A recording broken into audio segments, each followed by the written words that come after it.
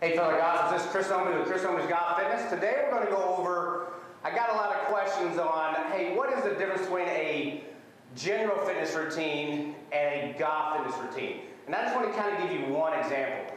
In a general fitness routine, they have something called a wood chop. So in a wood chop, you'll actually get your cable, and you'll actually come over, touch your knee, and then back up. Again, back over, touch your knee, come back up.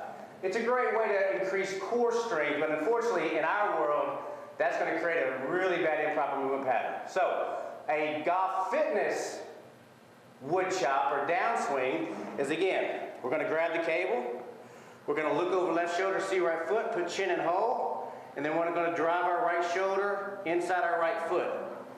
Again, look over left shoulder, see right foot, and down.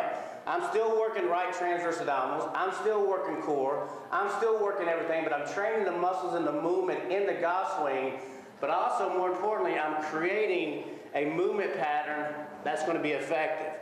So, when you read general fitness routines, look, make sure that it's not recreating a bad and improper movement pattern that's going to be counterproductive to your golf swing. If it is, stay away from it. Buy my DVD, I have all the golf fitness routines in there. That'll make you a better golfer in the shortest amount of time.